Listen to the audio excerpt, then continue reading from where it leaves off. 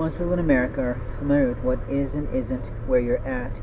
But where you're at in your soul is not always where you're at in your profession. Or where you're at in your profession is not always where you're at in your personal life. Or where you're at in your personal life isn't always where you're at with the Lord's house. You see, the Lord might have protected your life, He might have saved your life, or you might have been a lifesaver to everyone. I recently saw a video that I really was moved by, and I don't think as many people were moved by it is not true. I think a lot of people might have been moved by the actual genuine emotion that I saw. And maybe I'm oversensitive to it, or maybe I'm just observant, or maybe I'm just like everybody else, watching a girl express how she feels the fortune of having left the Twin Towers. Now, that was more than 20 years ago when we used to kind of do a celebration of that, but how do you move forward from God rescuing you? I mean, how do you move forward from the Lord helping you? A lot of people want to hit on behalf of the Lord. And I have to tell you from personal experience, God can hit a human being's life with the wave of his hand. He doesn't need a human being to hit someone. I know this personally from experience that when I first saw the girl that I love sitting outside of a Panera shop on a summer day, I wasn't really dressed appropriately, I felt, to see her because I was in shorts and I had never really done that before before.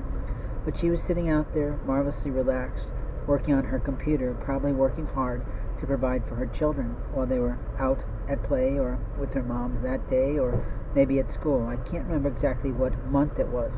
But it was after kind of a breakdown in our communication. And openly, I was so angry at God for telling me no, I couldn't go and speak with her that I just really about did an about face and said, "Fuck it, I'm not going to listen, God." And with that, the angel of the Lord slammed me to the floor inside the Panera.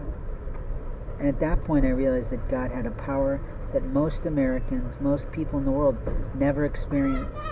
Maybe it's because they weren't as submitted to God as me, or maybe because God had such a plan for me and plan for her that He said, It's not time, she's not ready, she's not mature enough, and you can't handle the rejection right now.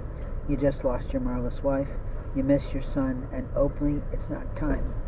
Knowing what time it is in your life is really important. Knowing how to play the time in life is also important. But people who waste God's time in life are really losing. I've been studying a website that I can tell has been designed by a very young and immature in business and in life designer.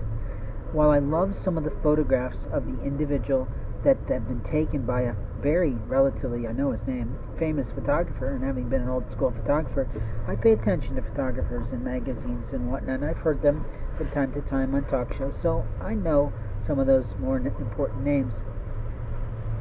But what makes me seethingly angry is how I don't see the soul of that incredible woman captured in those photographs.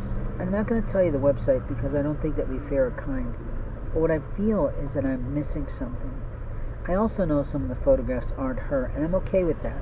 I've seen RuPaul even do that, and I don't mean there's any comparison between the two because they're both very unique, very different individuals with different ranges of moderations of success. What frustrates me about the site incredibly is that some of the best content isn't flashing on the front page, and some of the worst content is on the front stage. And I guess what also bothers me is that there's no way to reach out and immediately connect to get a person hired from that company. It's also unclear who does their social media, and if it's a company that I reviewed that says in the bottom, you know, footnote and footprint of who did the website, I'm not impressed. What I see is a bunch of women who don't know what the fuck they're doing in business. Now, it's very possible that woman is making billions of dollars. It's very possible she has a lot of clients she's consulting. But what I don't see in the process of the website is an evaluation process to ensure that the persons that are interested in her business are going to help her with the longevity of her business. And that makes me concerned. Because once you're an it girl in Hollywood, you can be a flash in a pan or you can be quickly run off road to the place that God wants you to go by other people that want to claim you, other people that want to be in fame with you, and other people that just don't fucking get out of your photographs.